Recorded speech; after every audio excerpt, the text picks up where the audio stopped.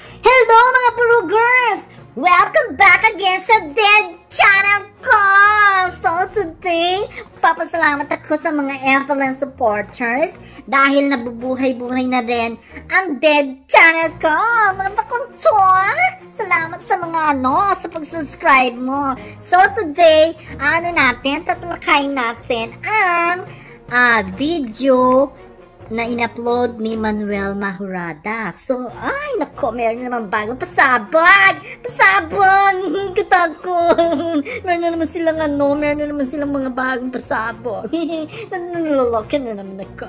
So, today mga bakla, ito na naman ang reaction natin. So, papakita natin ngayon yung ano, video ni Manuel Mahurada. Usually, pareho sila ni J.R. Balico hindi sila masyadong convincing dun sa confession or pagsasabi ni Pastor Antonio Mangusin. Hindi sila naniniwala na hindi sila related. Pilit nilang kinukunik yung isang tao kay Manuel Mag... Kaya no, Norman Mangusin. Sana lahat na lang ng mga mangusin, i-connect kay Francis Leo Marcos kung ganyan din ayaw nilang maniwala. Nagkakatakot. Pag naging mangusin pala ako, baka i-connect pa nila ako doon. baka ilalaganan, lalaganan pa buong mangusin, i-connect nila kay Francis Leo Marcos. Ay, nagkakaloka. o siya, etong mga banat ni ano, ni Manuel, Manuel Mejorada, sinasabi niya, na kuya mo. Kuya, kuya na talaga. Kuya sinasabi niya sa mga video mo. Madami siyang mga katanungan dito kay uh, uh, Pastor Antonio Mangusin. Ito yung mga katanungan niya. Bakit mo kinu, uh, kinukonsinti mo ang ginagawa ng iyong kapatid? So, bakit mo daw kinukonsinti ang iyong kapatid? Doon ang masasabi sa video niya. Bakit niya daw kinukonsinti? Yan ang katanungan niya. Ito pa, bakit di mo payuan ang kuya mo? So, nasa isip nila, kuya na talaga. Magkapatid, magkarelasyon silang dalawa. Eh, nasabi na nga ni Pastor Mangusin na hindi sila related. Oh, kawawa naman. Oh my God. Tapos ito pa, nakakahiya sa'yo dahil may kapatid kang manloloko at bugaw. Oh my God, napaka-ano yan. Yan ang tanong niya at sinasabi niya kay pastor. Nakaka, na, nakakahiya daw dahil may kapatid siyang manluloko at bugaw. So, nasabi ni Manuel Mejorada dati dun sa latest video niya na hindi mo pwedeng husgahan ang tao kung hindi pa napapatunayan. Eh, bakit ngayon? Iba-iba na namang statement niya. Eh, Sinasabi na naman niya, bakit ano, kinukonsinti mo, hindi ka nahiya na may kapatid kang manloloko at bugang. So, hindi pa naman napapatunayan, iba? Hmm, baklang so, nairita ako, na-stress ang butas ng fast ko, kaloka. Tapos eto, eto pa yung isang tanong niya sa video niya. Okay lang ba na pinapalabas sa iyo na naging taksil nanay mo sa tatay mo? Yung gano'n, yung related nga din sa Marcos na Etios. So, hindi natin alam. So, mas maganda, i-ano, i-pakita ko yung video niya. So, kung hindi mo masabi niya pa, dun sa video yung ipapakita ko niyan. Kung hindi mo masasagot, di ka dapat manatili bilang isang pastor.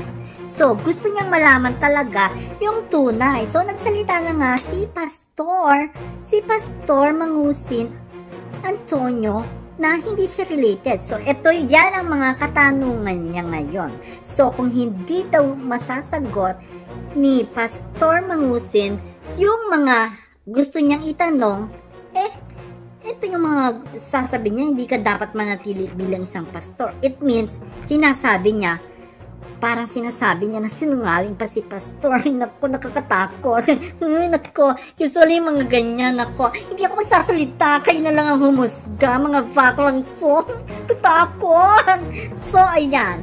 Papakita natin ang video kung saan nagbigay ng statement si Manuel Mejorada. So, asan yung ko? Kunin natin yung headset para marinig natin bonggang bong. So, mga Evelyn supporters, kayo na ang humusga. Kahit sino man ang sa inyo, humus kayo na ang humusga. Ayoko rin manghusga. Gusto ko lang ipakita sa inyo lahat na ano, na talagang sinabi talaga yan. Diyan sa video iyan. So, mga bakla, mm, sana. Sana yung video? Naloloka ako. Na-stress ang butos ng face ko. Naloka. Mhm. Okay. Ayan, panoorin na natin. Mga bakla, mga burugers, hmm, i-ready na yung mga headset dahil maluloka na kayo. So, ready, set, Kapag ah, alam ko, ah, ay kuya mo. Ang sinabi mo lang ay hindi mo, ah, wala kang, ah, correl- hindi ka correlated sa kay Francis Leo Marcos. Which is true and false. No? Kasi, totoo nga naman, wala kang kapatid na si Francis Leo Marcos. But, ah, at the same time, nagsisinungaling ka dahil alam mo na itong si Francis Leo Marcos ay si Norman Antonio Angusin. Ang kuya mo mismo na si Kuya Norman. So may mga tinanong ako sa iyo pa sa aking first video. Ngayon, um, I will add more questions no, para po malinawan yung lahat. Kasi ginagamit yung video mo ng mga tauhan ni ah, Norman upang ah, to create the wrong impression na mga sinungaling ang mga katulad ko sa mga pinalabas namin tungkol kay ah, Norman Mangusin. And uh, hindi naman, ah, I do not doubt for a moment na totoo yung mga sinabi ko. No? Pero dahil lumabas ka, no, dahil may video ka, eh kailangan na ah, tapusin natin ito where it all started. Kaya po, ah, in addition no, to the questions I have ah, propounded kahapon, ito po ang mga karagdagan kong mga tanong. Ah, sana po mabigyan mo ito ng panahon ah, para ah, to clear once and for all all the issues surrounding ah, the cases the cases of your brother. Number one, ngayon po na nasa bilangguan na si Kuya Norman mo, ano ngayon masasabi mo? Ah, now that ah, he is being held without bail ah, sa kasong six counts of human qualified human trafficking ah, kung saan pinadala niya ang mga kababayan natin ng mga Pilipina to Cyprus noong 2006 ah, upang ipasok sa isang prostitution den na wala naman silang alam. Wala naman silang ah, pahintulot. No? Hindi naman sila nagsabi na willing sila. Kundi they were deceived. No? Uh, niling lang sila into believing na yung trabaho nila doon ay sa restaurant at pagaganda yung sahod. So ano ngayon ang masasabi mo at tungkol sa iyong uh, Kuya Norman?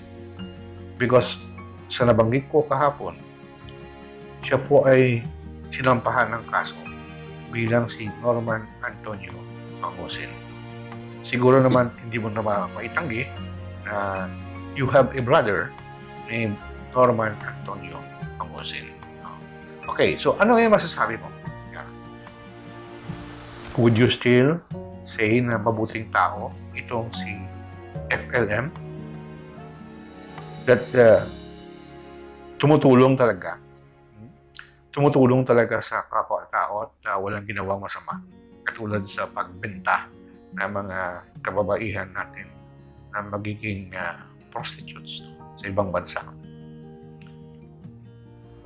if you did not, if you refuse, if you do not say anything, eh, baka po pumasok na sa isip ng mga tao na kinukonsente mo kahit na ikaw ay isang alagad ng Diyos. Kinukonsente mo yung ginagawa ng iyong kapatid. Dahil siguro naman kahit uh, mas bata ka sa kanya, uh, siya ay kuya mo. Pero may karapatan ka rin dahil isa kang ministro, isa kang pastor. May karapatan ka rin na magsalita sa kuya mo at sabihin nga, Kuya, mukhang hindi na maganda yung ginagawa ko. So yun po ang tanong ko. Nangyari ba na kinausap mo yung kuya mo tungkol sa mga ginagawa nito?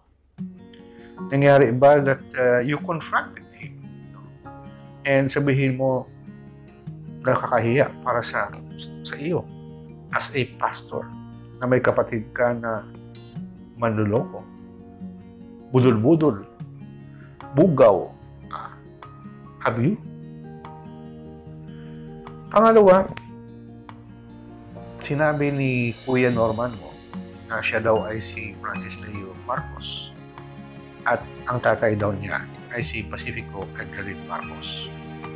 Hindi lang po ito sa salita, kundi may mga dokumento po tayong hawak katulad ng application niya sa uh, para sa passport with the Department of uh, Foreign Affairs kung saan nilagay niya na ang kanyang tatay ay si Pacifico Edwin Marcos at ang nanay niya ay si Remedios Carino Antonio.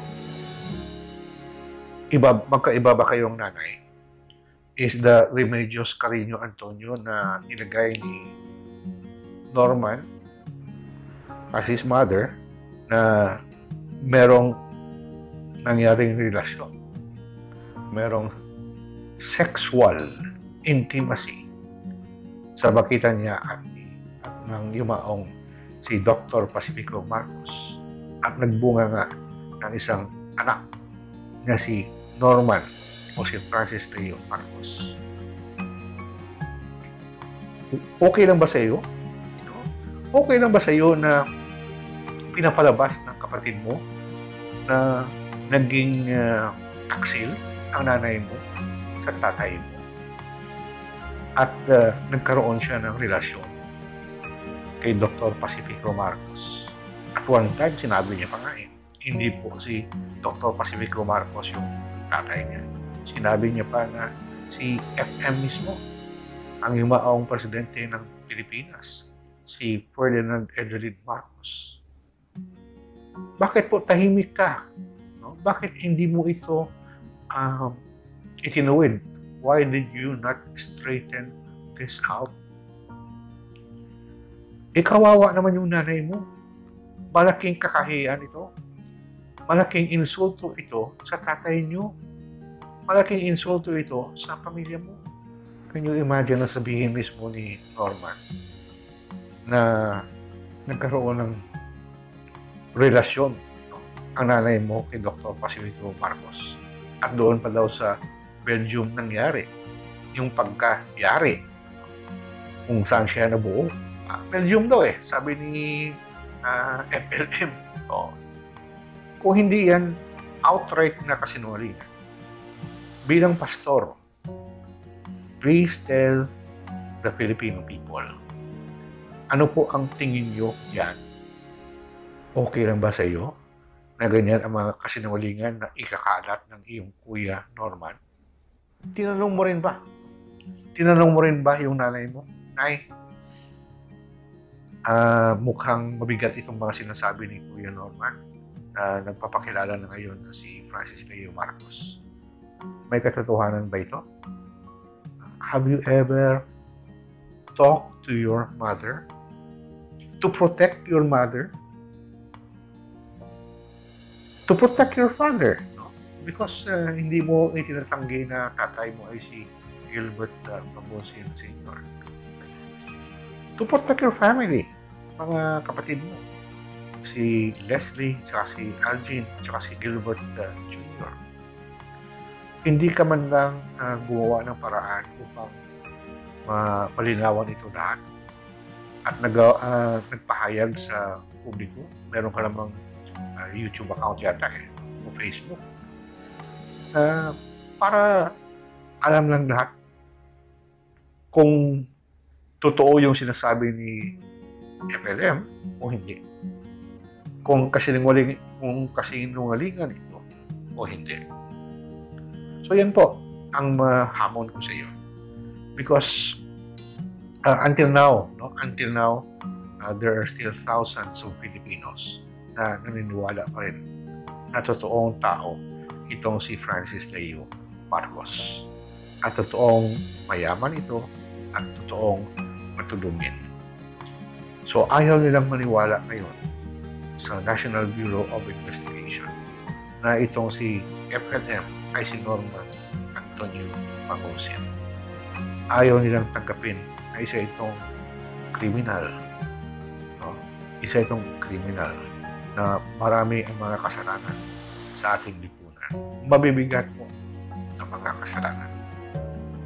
Kaya maghihintay ako. It's been 24 hours after uh, my first video. Eh, sana po uh, makarating ito sa iyo because nakikita ko uh, viral din yung unang video ko both on YouTube and uh, uh, Facebook. So sigurado uh, dahil marami ka rin kaibigan, sigurado ako na makakarating ito sa iyo. So sana po, Pastor, pag-isipan nyo ito at bigyan, bigyan kami ng mga kasagutan. Because if you fail, because if you fail or refuse uh, to give us answers, eh siguro po hindi ka dapat, dapat na manatili ka bilang isang pastor because your uh, silence or your consent sa mga ginagawa ni Norman, ni Kuya mo Norman, is also a breach sa pong malaking kasalanan sa mga utos ng ating Panginoong Diyos. Peace be with you, Pastor Jerome. Ay, bongga! Grabe siya, oh! Grabe! Grabe siya! Dami niyang katanungan. Diba? Malala, malala yung mga ano, mal, malala yung sinabi niya. Yung sa huli, doon ako naloka. Grabe siya. Doon sa, hindi mo masasagot, kung hindi mo sasagot siya, dapat hindi ka naman natili bilang pastor. Katakot. Naloka naman ako doon. So, mga ano, mga bakla, mga Evelyn supporters, So, antayin natin. Yung gusto ko, masagot siya ni Pastor, yung mga binibintang sa kanya. So, hindi pa sila convincing sa sinabi ni Pastor. Hindi siya related. Parehas lang sila ni ano, Balikol, uh, ah, JR Baliko, na hindi sila convincing. Eh, gusto nila, patunayan nila, nagkagamitin yung pangalan na ano, na uh, Mangusin, hindi Francis Leo Marcos, Norman Mangusin dapat daw. Ay nako, kaloka sila. So, kailangan pa ba ng ganon? Nako, kayo na yung humusga, mga bakla, mga ano. Husgahan nyo na kung ano yung dapat, kung sino nagsasabi ng totoo. So, yung ano niya, yung yung point ni Manuel Mahorada, hayaan lang natin yan. Ano niya yan eh, ah, uh, ay, opinion niya yan eh. Kailangan respetuhin natin mga opinion ng iba. So, respetuhin din nila yung opinion natin, mga bakla, mga bloggers. So, uh, ang masasabi ko lang dyan, so, parang nadamay na yung, yung nakakalungkot nga lang, dapat, dapat sila na nga ang, ano eh, humingi ng paumanhin, sorry dun sa tao. Kasi nga, pati siya nadamay dito sa kasong ito na usually hindi naman dapat. Pati yung mga picture, kumakalat, parang na, nabubuli na yung picture na yun. So, uh, dapat nga, yung kung sino man nagpa-simula nung ganyan, eh dapat humingi ng sorry dun sa mga pamilya ni uh, pastor kasi nga nadamay sila sa mga ganyan. Eh, usually hindi naman dapat tayo manghusga ng mga ganyan, di ba? Kasi nga, wala tayong proof. So, usually, ang makakasagot lang talaga dyan, si pastor. So, antayin natin ang balik ni pastor kung, kung ano yung masasabi niya dyan. Pero usually, dun sa unang nasabi pa lang ni pastor, hindi naman yung gagawa ng kasinungalingan. Kasi nga, masisira din yung pangalan niyan, di ba? Di Diba, magpakwa? Diba? O, so, ayan lang ang maano natin ngayon for today. So, mga FLM supporters, kapit lang kayo. So, please don't forget to like and subscribe and like, like, like, share, share, share. Para ano, para dumami naman yung mga views ko, mga bakla. O, diba? So, yan lang ang masasabi ko ngayon. Yun lang ang mapapayo ko sa inyo. Antayin natin yung kasagutan ni Pastor Mangusin. So, salamat sa mga sa mga bakla, sa mga burugers, sa katulad ko na nanunood, at sa mga Avalanche Solid, Solid Liquid Gas Avalanche Supporters! Once an Avalanche Supporters, always an Avalanche Supporters. Ah, oh, diba? O oh, siya, Papala na yung mga bakla. Mamaya na naman pag nakasagap akong balita. Kaya tutok lang. See ya! Bye!